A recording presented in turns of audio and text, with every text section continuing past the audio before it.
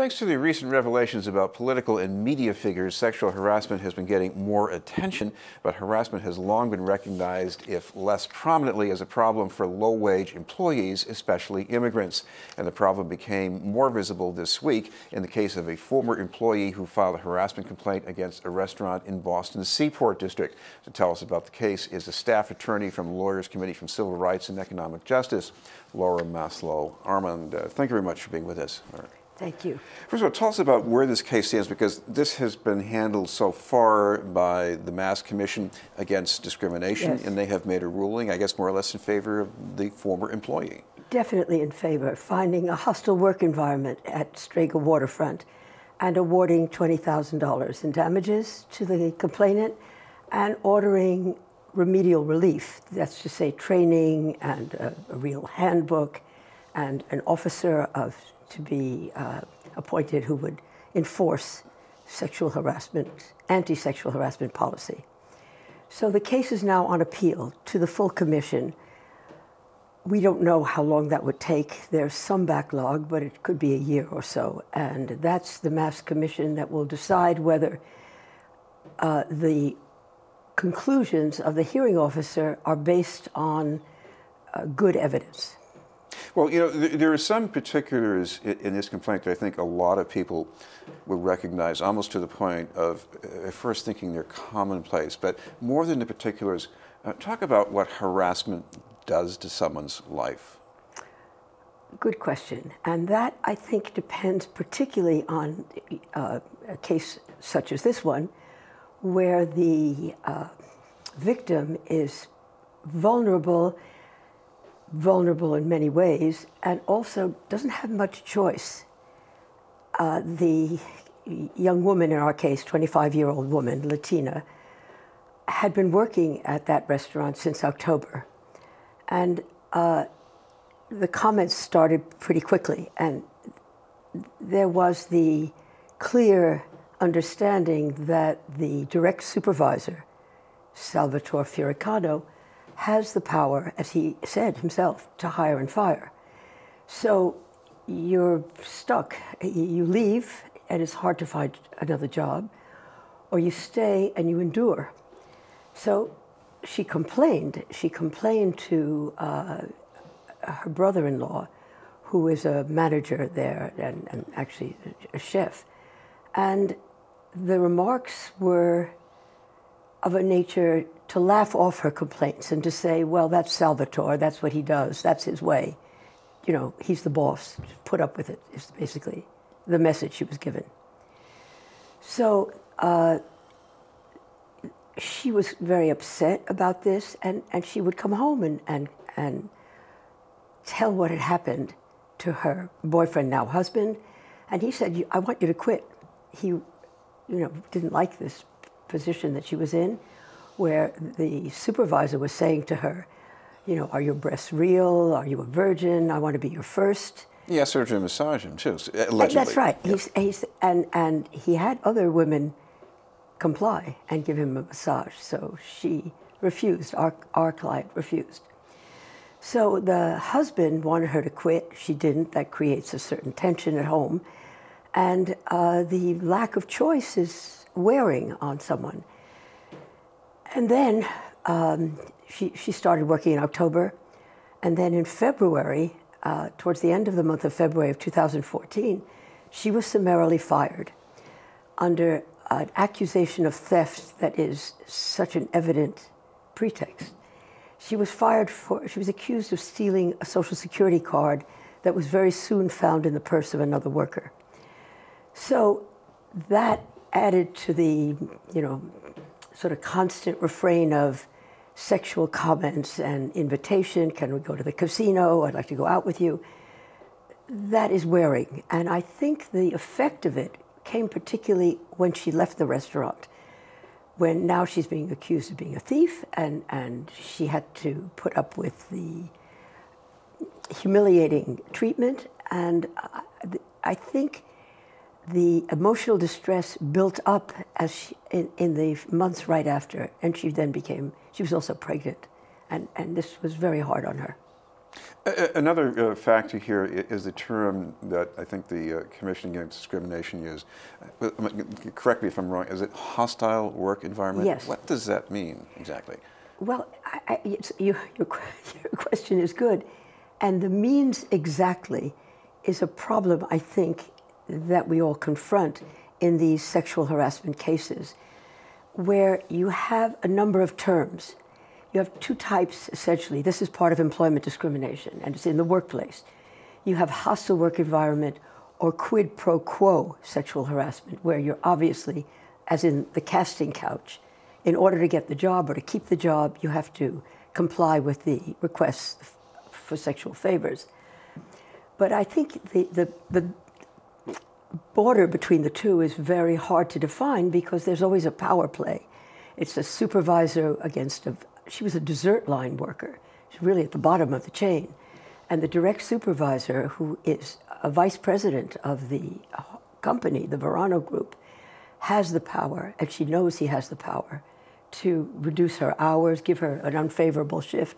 So it's always, I think, related to a quid pro quo.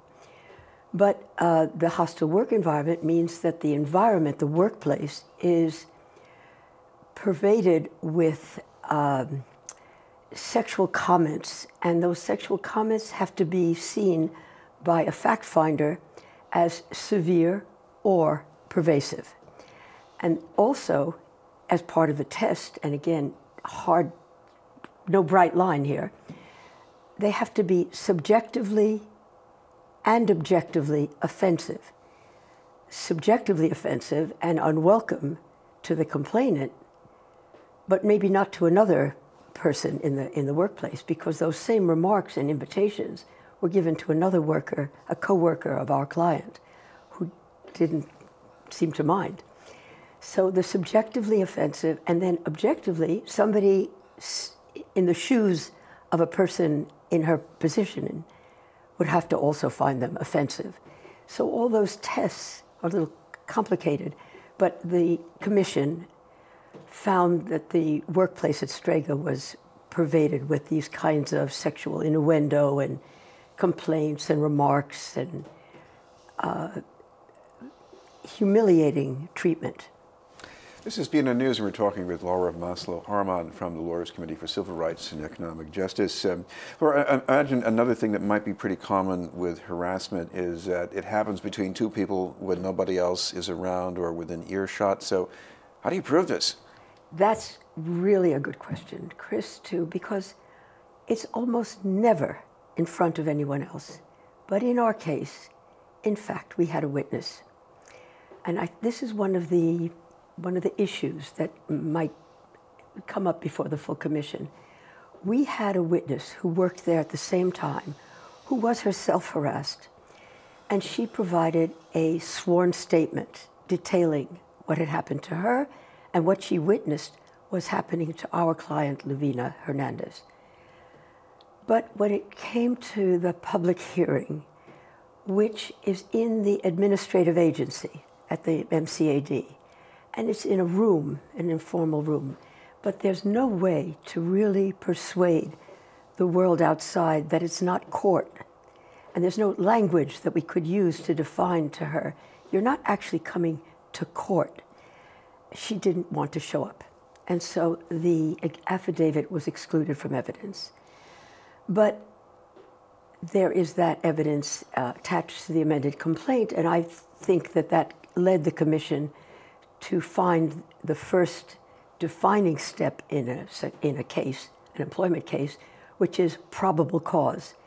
So the commission said it was more likely than not that uh, Strega Restaurant and, and Salvatore Fioricano had violated the anti discrimination law. And I think a lot of that favorable finding was based on the fact that we had a witness.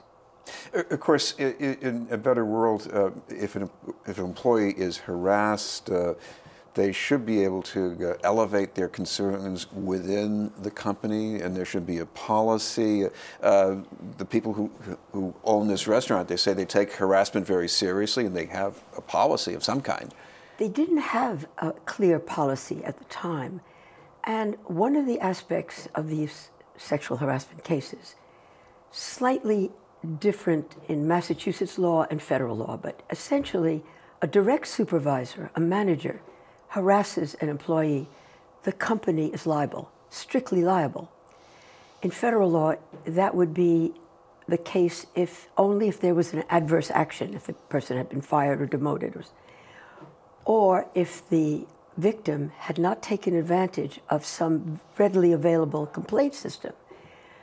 Uh, our client did complain, did complain to management, but it was laughed off. And there wasn't the kind of um, hotline, uh, impersonal, that would allow you at Strega to reach higher management and to let your concerns be known.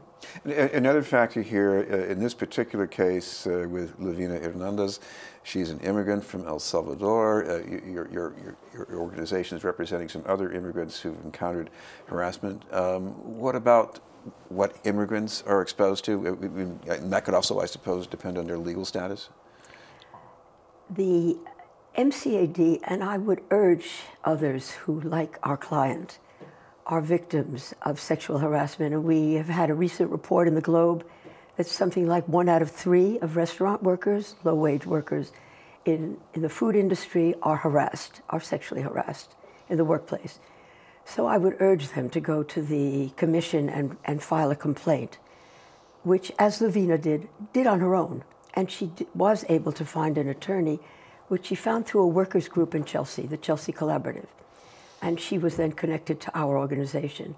And the, the decision of the commission is three and a half years after she files her case, and all the attorneys are pro bono.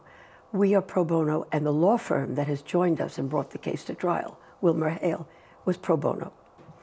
So the uh, immigration issue, the commission has clearly excluded any testimony related to immigration status, social security numbers, cards, filings, tax filings from these cases, and has done so not only in this case, but in a prior case that we brought, where the respondent wants to compel testimony.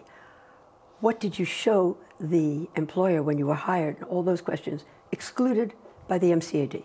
Well, as you can imagine, uh, I think immigrants across the board might be reluctant to come forward in a way that other people wouldn't. But if, if they do have concerns about their status, is, is there any kind of protection that we can afford them uh, by, by law in this country? We had another uh, sexual harassment case, not in a restaurant, but in a cleaning uh, company.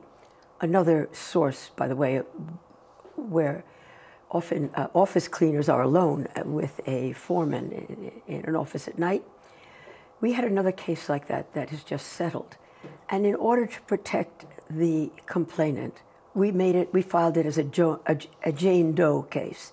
And the commission has a procedure and recognized a, a procedure for allowing a complainant to come forward anonymously and keep that name out of public record. Of course, I'm also thinking of cases, maybe this is more about uh, criminal charges as opposed to administrative proceedings, where uh, I guess an immigrant with concerns about status can get at least a temporary kind of legal status to go ahead with that? A U visa, for example? That's the. Uh, that's actually the positive side of these kinds of issues like domestic violence and other kinds of violence that take place in the United States is that, particularly for, as you said, for criminal cases, but also for a civil case like this, if it can be certified by the agency, as the EEOC does, and the Department of Labor and the police departments do, that would allow an immigrant without status to petition for a U visa, which would put them on the road to eventually to citizenship. Well, one other thing finally I want to ask about uh, the case of Lavina Hernandez was why she decided to come forward more publicly. Uh, I mean, uh, that would seem to be something people wouldn't want to do, maybe. I admire her courage on this. She not only was willing to come forward, she was willing to have her full name used, her age, tell the story. She might have been willing, really, from the very beginning, that she never ever refused to proceed with the case to go to public hearings. She never said, I, I want to stop. That's three and a half years and frequent uh, appearances. So uh, she, I, she, she was motivated, she said, also by the publicity very recently at the Lawyers Committee of another case of five restaurant workers who came forward, and that was widely seen on television and on, particularly on the Spanish CNN Espanol and, and other Spanish uh, media outlets, and that encouraged her to say, I'm going to tell my story as well. Thank you very much for being with us. Thank you. From the Lawyers Committee for Civil Rights and Economic Justice, Laura Maslow Armand.